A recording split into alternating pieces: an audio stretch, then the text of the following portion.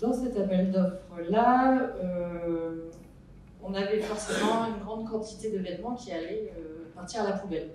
Et assez euh, naturellement chez Naruto, on nous a dit bah, qu'est-ce qu'on en fait de ces, vêtements-là?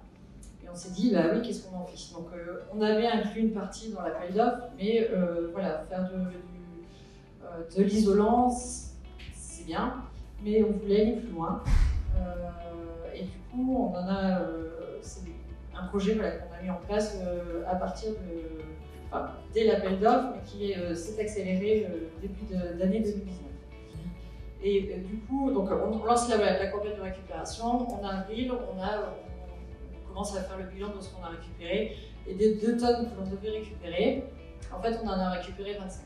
Et, fort de, de, ce, de, cet événement et de cette envie des directeurs de centre d'aller loin, on a en place ceci avec euh, et la France, et l'Espagne, et le Portugal. D'où les 25 tonnes. Euh, voilà, donc euh, victime du succès, l'entrepôt dégorgé, on ne savait plus quoi en faire.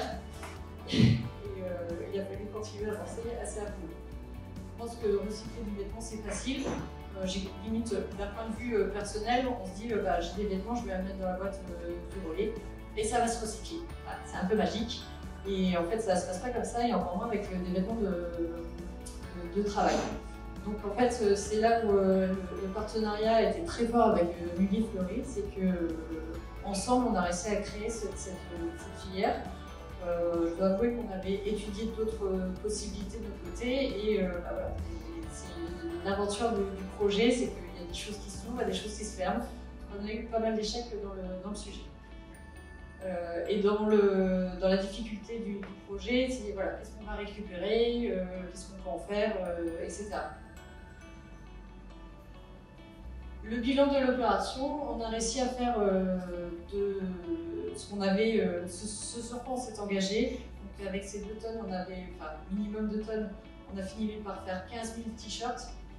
Alors 15 000 t-shirts, qu'est-ce que ça donne C'est beaucoup, c'est pas beaucoup. Pour Noroto, c'est 3 ans de t-shirts. Ça veut dire que pour Noroto, il y a quand même un engagement important de dire euh, voilà, je lance une production de 15 000 t-shirts, euh, c'est pas neutre. Et, euh, mais voilà, on voulait, on voulait, vraiment y aller, donc il y avait vraiment un engagement fort là-dessus. Et, dans le, bilan, donc on a 300 centres en France en fait, le bilan, il y a 70 centres qui ont envoyé des vêtements. 70, c'est c'est beaucoup. Et en même temps, en fait, avec 70 euh, centres, on avait déjà, euh, il y a plus qu'il nous en fallait. Donc 70, euh, on n'a pas beaucoup communiqué, donc on aurait pu faire beaucoup plus. et du coup, voilà, c'est une première étape. et je pense que demain, on pourra faire beaucoup plus et beaucoup mieux. Mais il faut, bien commencer, Et pour la suite, euh, ce qu'on voudrait chez Naruto, en fait, c'est euh, avec notre partenaire, aller plus loin euh, dans le sujet, c'est-à-dire de passer d'une opération one-shot, parce que voilà, on avait beaucoup de vêtements d'un coup, à quelque chose de, plus récurrent, quelque chose qu'on puisse faire au fil de l'eau, ce qui pose des problèmes logistiques.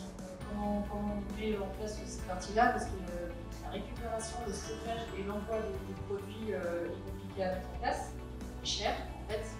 Comment le faire au mieux pour la, utiliser l'ensemble? Pouvoir intégrer le produit recyclé dans la ligne et pas adapter le produit recyclé, c'est-à-dire que euh, suite à l'appel d'offres, on avait défini une très jolie ligne et euh, ce projet ne pouvait pas s'intégrer complètement dans la ligne. Donc on a créé un t-shirt que je porte, qui est, très sympa tout ça, mais il ne fait pas partie de la ligne. Dans un projet global, ce qui serait idéal, ce serait qu'en fait de notre, euh, notre ligne, on puisse avoir quelque chose de complètement éco-conçu euh, pour pouvoir intégrer cette partie recyclage. Et donc là aujourd'hui on a un t-shirt, demain l'idéal ce serait d'avoir toute la ligne. Voilà. Donc on a encore euh, deux beaux projets à mener et de belles opportunités.